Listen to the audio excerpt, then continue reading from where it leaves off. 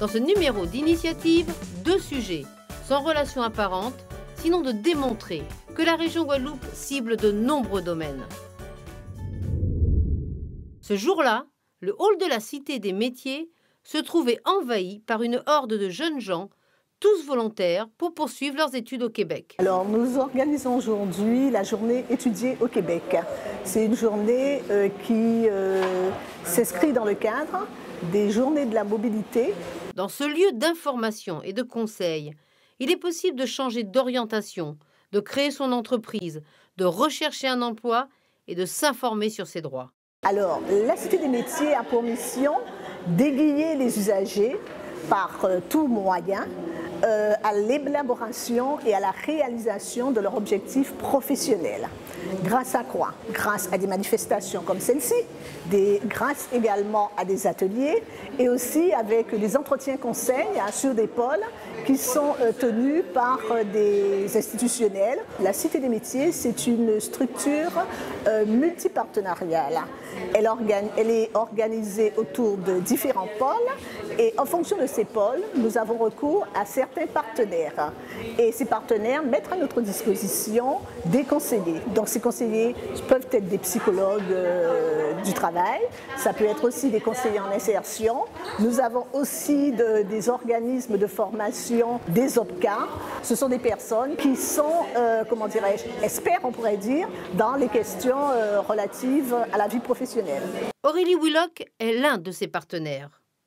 Elle est là pour accompagner vers l'insertion professionnelle. Nous travaillons en fait sur l'individu, donc euh, nous permettons aux personnes en fait euh, de développer et de construire en fait avec eux leur parcours d'insertion professionnelle, à la fois au niveau de la formation et à la fois pour le choix de métier. Ce sont généralement des publics euh, en difficulté ou en situation de grande précarité et spécifiquement des demandeurs d'emploi qui recherchent des éléments en termes de formation ou des orientations sur des métiers éventuels. Désormais, Aurélie collabore régulièrement avec la Cité des métiers, conseille et oriente tous ceux qui sont venus là chercher une réponse. J'ai donc démarré avec le RSMA, où j'interviens avec eux sur euh, l'atelier Découvrir son métier euh, professionnel, où nous utilisons justement euh, Inforison, donc, euh, qui est un logiciel permettant justement d'avoir des pistes d'orientation professionnelle. Donc euh, j'ai ces jeunes en atelier chantier d'insertion ou plus spécifiquement en remise à niveau des savoirs de base. La Cité des métiers vient exactement compléter les informations que je leur donne à la base puisqu'ils ont un, un service documentaire à l'étage et ils ont différents conseillers. Donc ça leur permet en fait, euh, souvent ils ont des craintes, donc ça leur permet de, de dédramatiser un petit peu, surtout que vous avez des conseillers super compétents à la Cité des métiers. Donc la Cité des métiers est vraiment un relais pour eux et pour moi surtout, qui intervient en tant que conseiller en insertion professionnelle. La Cité des métiers est ouverte à tout public. Et justement, l'intérêt d'une cité des métiers, c'est de ne pas recevoir un public en fonction de son statut. Mais il est certain que nous recevons les publics qui sont un peu plus en, difficulté, je dirais, par rapport à euh, la réalisation de leur objectif professionnel, mais euh, aussi ceux qui veulent changer de vie professionnelle. Voilà, ceux qui sont à la recherche d'orientation, des jeunes par exemple, ceux qui veulent trouver une formation, D'autres également sont intéressés par la création d'activités. Sans la région, la Cité des métiers n'existerait pas, car c'est bien la collectivité qui finance la structure et son fonctionnement. La Cité des métiers a été créée par la région Guadeloupe. Alors nous avons fêté en 2013 nos 10 ans. Le partenariat avec, c'est un partenariat financier tout d'abord, puisque la Cité des métiers est financée par la région Guadeloupe et aussi par les fonds européens. Par ailleurs, notre programme d'activité est soumis à la région Guadeloupe qui l'approuve. Voilà. Pascal Bourriqui est animateur au sein de la Cité des métiers. Il intervient tant sur l'orientation, le changement de vie professionnelle, la valorisation de CV, la création d'entreprises, l'emploi et la formation. La Cité des métiers, sa charte dit c'est gratuit, anonyme, sans rendez-vous. Bien sûr, nous avons des locaux qui ne sont pas extensibles et nous avons aussi des partenaires extérieurs qui viennent à des moments donnés. Donc pour qu'il y ait du temps donné aux personnes, nous demandons à ces personnes de euh, s'inscrire. Euh, pour qu'ils aient euh, la possibilité pendant une demi-heure, voire trois quarts d'heure, par exemple, de voir un expert comptable ou de participer à un atelier sans être les uns sur les autres.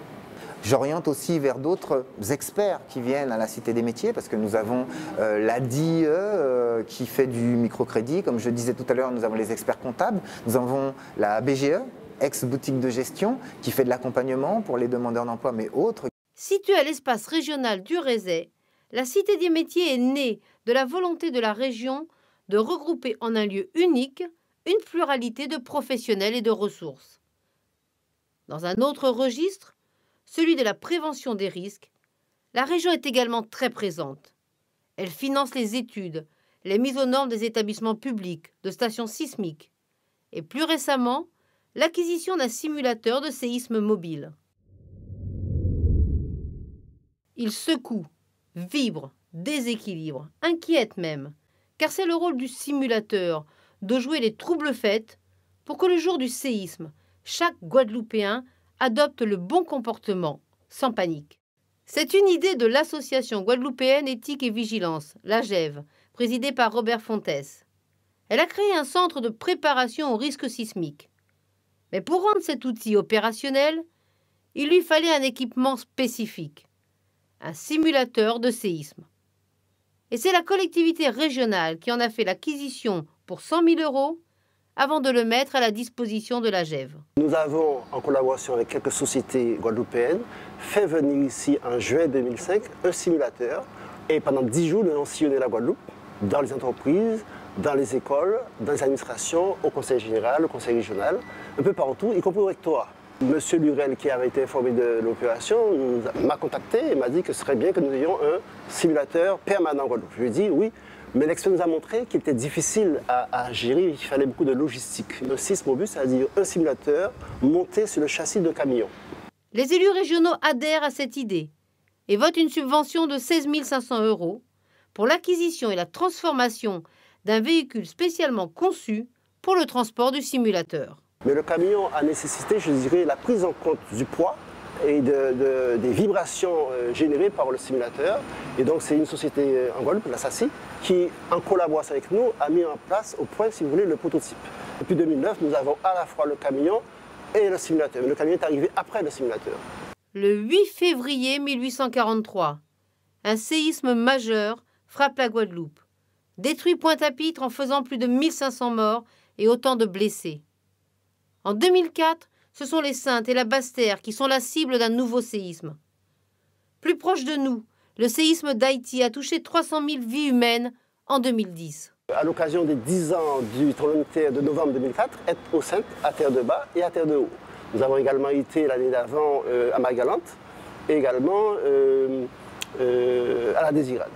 Notre projet, à travers le Sismobus et l'équipe scientifique, hein, c'est que demain nous puissions être un vecteur de coopération dans la Caraïbe, parce que comme vous le savez, euh, nous sommes plusieurs îles posées sur la plaque Caraïbe, donc exposées au même danger.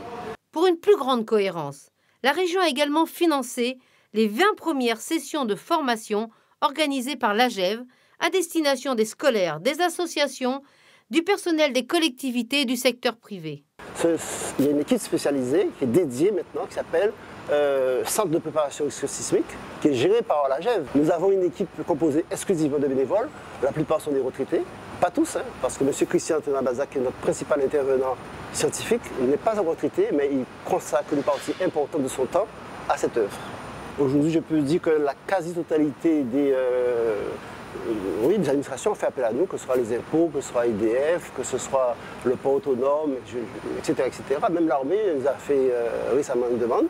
Ce qui veut dire que, quelque part, avec en moyenne 2800 à 3000 personnes sensibilisées par an, le sismobus est devenu incontournable. Et nous sommes les seuls dans la Caraïbe aujourd'hui à avoir le sismobus, c'est-à-dire le simulateur monté sur un camion. La solution sismobus fait que, à partir du moment où nous arrivons sur le site dédié, dans les 5 minutes qui suivent, nous sommes opérationnels. Nous partons du principe que la culture du risque sismique ne s'acquiert pas euh, en une seule fois. Il faut renouveler, et pour ça, j'en veux pour preuve ce qui se passe au Japon, en Chine et dans d'autres pays qui sont effectivement sujets de terre. Depuis l'enfance jusqu'à l'âge adulte, les gens s'entraînent. Pourquoi? Parce que le jour J, comme ça ne prévient pas, il faut être prêt, il faut savoir comment réagir. Tester le simulateur est une chose, mais il en est une autre de comprendre pourquoi nous sommes victimes de séismes et quel est le bon comportement à adopter. C'est précisément la partie de Sarah Cox. Comment réagir? Donc avant, ce qu'il faut faire avant le tremblement de terre, pendant le tremblement de terre et après. On leur dit d'imaginer qu'ils sont dans une pièce et qu'ils n'ont pas le temps de sortir. Alors, au début, ils sont debout en train de lire, hein, puisque le tremblement de terre ne prévient pas. Ça nous surprend dans nos activités. Donc là, en l'occurrence, ils sont en train de lire. Et lorsque ça commence à bouger, ben, ils se baissent, comme s'ils se mettent sous une table. Ils tiennent les pieds de la table, parce que c'est important, comme on l'a dit, puisque la table elle peut se déplacer pendant la secousse. En terminait, le plus souvent, ils disent que oui, c'est impressionnant. Ils ne pensaient pas qu'on peut effectivement euh, ressentir un tremblement de terre euh, comme ça avoir un tremblement de terre comme ça. Une démarche courageuse, celle du maire de Terre de Bas, qui a souhaité que le simulateur vienne sur sa commune. Mais si cela n'a pas manqué de rappeler de mauvais souvenirs à la majorité des Saintois. C'est vrai qu'ils euh, étaient très réticents, en tout cas les adultes, ceux qui ont connu le tremblement de terre, à, monter. Bon, certains sont, quand même montés dessus, et c'est plus les enfants qui, euh, qui, ont bien voulu monter. De, voilà qui, sont montés sur le simulateur. Ah oui, les enfants sont, de très bons ambassadeurs. D'ailleurs, il faut qu'ils connaissent, euh, qu'ils sachent ce que c'est un tremblement de terre pour euh, savoir comment réagir, hein, c'est sûr. La collectivité régionale veut aller plus loin encore et créer un véritable centre de ressources en lien avec la Caraïbe, afin de mettre en commun les expériences et les savoir-faire des territoires insulaires de la zone.